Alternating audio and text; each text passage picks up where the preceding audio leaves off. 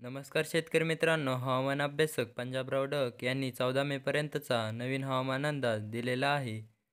त्या हवामान अंदाजानुसार राज्यात तीन मे चार मे व पाच मेला राज्यामध्ये ढगाळ वातावरण राहणार आहे व तीन मेला अमरावती जिल्ह्यामध्ये काही भागात तुरळक पाऊस पडणार आहे असे पंजाबराव डक यांनी सांगितले आहे. त्याचबरोबर विदर्भात पाऊस पडण्याची शक्यता आहे.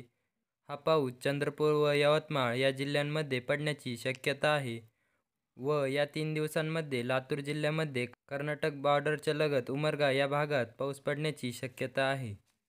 या भागातील कांदा व हळद उत्पादक शेतकऱ्यांनी आपल्या पिकांची काळजी घ्यावी असेही पंजाबराव डक यांनी सांगितले आहे. राज्यामध्ये सर्वत्र कांदा हळद भुईमूग हरभरा गहू या पिकांची काढणी चालू आहे. तरी ती अकरा मेच्या अगोदर काढून घ्यावी कारण राज्यामध्ये अकरा मे बारा मे तेरा मे व चौदा मे दरम्यान पुन्हा खराब वातावरण तयार होणार आहे व अवकाळी मान्सूनपूर्व पाऊस पडण्याची शक्यता आहे. तरी हा हवामान अंदाज सर्वांनी लक्षात घ्यावा व आपण आपल्या पिकाची काळजी घ्यावी असेही पंजाबराव डक यांनी सांगितलेले आहे. धन्यवाद शेतकरी मित्रांनो जर चॅनलवर नवीन असाल तर शेतीविषयक व हवामानाविषयक माहितीसाठी आमच्या चॅनलला सबस्क्राईब नक्की करा.